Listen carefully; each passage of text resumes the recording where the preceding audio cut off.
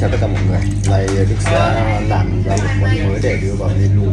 Thì cái món này là một cái món ngon ờ, của Việt Nam. Nó thường thường nó ở trong các bữa tiệc à bữa tiệc ờ, trong các khách sạn cao cấp thường sử dụng. Thì nay đức sẽ làm món này để giới thiệu với bạn bè quốc tế về ẩm thực Việt Nam nha. Thì mọi người sẽ chờ đón xem hết video thì được làm món gì nha. Thì à, bật mí nguyên liệu từ khoai tây nha. Mình biết làm món gì cái món này thì à, mình sẽ à, dùng à, khoai tây để làm cái nguyên liệu chính. Để xem mình xem mình kết hợp với nguyên liệu gì nữa để tạo nên cái món ăn mới nha. Giờ mình trên thì mình có một cái thành phẩm như thế này. Để đã đoán được món gì mình à, định làm chưa? Rất giỏi. À, cái món mình à, định làm lá rất là đẹp. Đơn nào như cái đơn này dễ làm lại nhanh tiền. Bò lúc đơn làm không dễ làm hết vì Trăm đô. nhớ đồ. Hiểu không tôm xào sốt bơ tỏi mình sẽ hướng dẫn chi tiết mọi người nấu uh, tinh dầu thơm của phở nhé thì uh, mình sẽ chuẩn bị khoảng hai củ hành tây to và một củ hương to tầm ba lạng.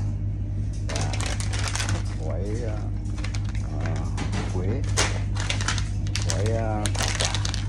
À đây đây là uh, quế này uh, hoa hồi và một gói thảo quả. Đinh hương và hạt mùi nha à, bắc dầu lên uh, ngập chảo dầu à, tùy uh, tùy theo cái lượng uh, như mình cái chỗ này thì mình ước lượng với cái chảo mình cái cỡ to nhất của quán này mình cũng đun đầy luôn. Nó rơi vào khoảng các khoảng 4 lít dầu và đó.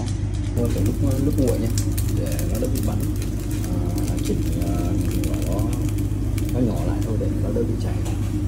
Đầu sôi phải có hoa hồng và vào à, hảo quả mọi người dập nó ra nhé chưa thích hợp quá lắm mọi người tập nó ra.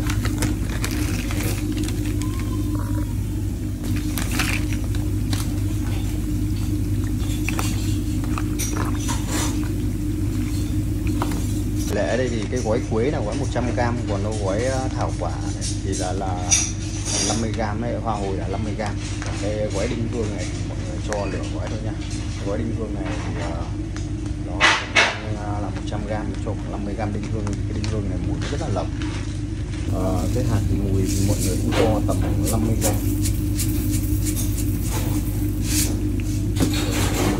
cố gắng ờ, nấu được khoảng trong vòng tầm 20 30 phút để cho nó ra hết cái tinh dầu nha. Khi mọi người mà cho ờ, dầu nó già hay là nó sẽ không tiết được hết ra cái hương mà nó còn bị cháy nên là mình cho thật nhỏ. Thì sao cố gắng đun càng lâu càng tốt để nó tiết hết ra cái mùi thơm. Là mình ờ, nấu được 20 phút rồi nha.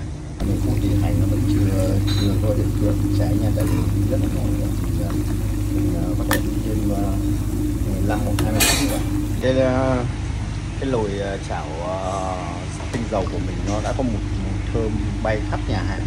Thì, tầm này thì mình cũng có thể bắt đầu tắt bếp để vớt hết nguyên liệu ra rồi vì hành của mình cũng đã tóp hết rồi đấy.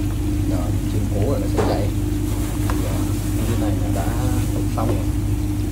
Dạ, Giờ, mọi người có thể pha là cứ một muôi.